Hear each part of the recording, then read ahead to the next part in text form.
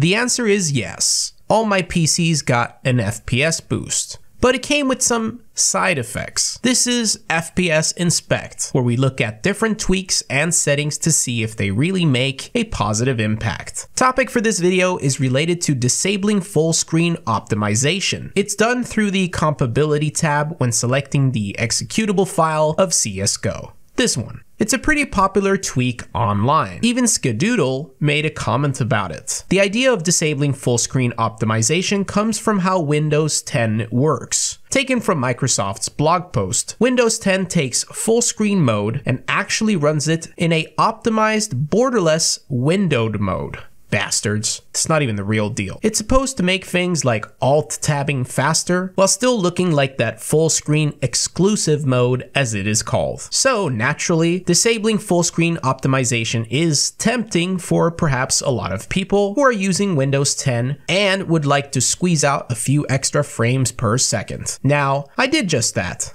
And here are my results. Disabling full screen optimization did in fact improve my performance across the board. My streaming PC really liked it in the middle section for the 1% club. While this may seem impressive, we're talking roughly 7 FPS on a machine with a 7700K. My wife's PC, which is the lowest tier, with the 5.4%, that's 3 additional FPS. This being in the 0.1% means it's a very positive performance boost in terms of stability and getting those slow frames up to speed. Another tweak that came up was something called high DPI scaling override and setting it to application. When going this deep with settings, it starts to become a bit too hardcore for me. I really can't say how this affects anything. I'm not even sure what it does. I tried puzzling it together, but the closest I could get was this reply on a PUBG thread when asked what it does. I guess this will have to do. It seemed to have a positive effect back then for PUBG. I've also seen people say that it's not enough to just disable full screen optimization, you also need this DPI scaling override option enabled. That's the only way you'll get an FPS boost. But as you guys saw, that has not been true for me. Either way, it was worth trying out and see what would happen. So I disabled full screen optimization and enabled the DPI option as well.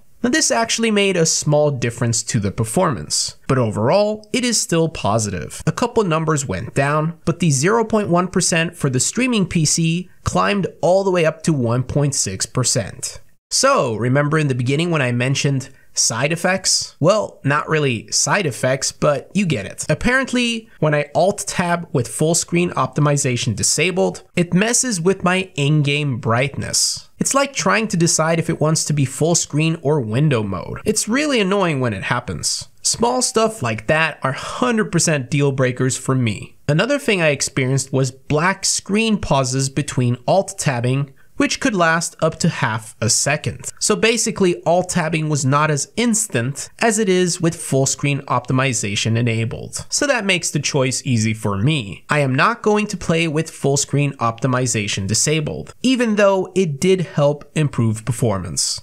What about input lag? I would have liked to use an LDAT for this, but they only give them out to special people, and I am not special enough. Another way of benchmarking is by simply looking at how well I played. I can do this with Jesper's latest aim map. It's got all the practices I need to get a large enough sample size. I focused on practices which needed a lot of mouse movement. Now this took a lot of time, but it's safe to say that performance wise, it had no significant impact on my performance. And to be clear, I'm not talking about PC performance. I've seen people say that it affects the mouse, making it feel different, but I haven't experienced this at all. So I've answered the question. Yes, it did boost my FPS, but as always, in rare cases, the opposite could happen for you. Do your own benchmarks to be sure that it works well. Speaking of working, sure, it works, but I still have the brightness changing now and then, and alt tabbing is slower because of the black screen pauses. I will not be using these settings. Stay awesome, guys, and go bananas.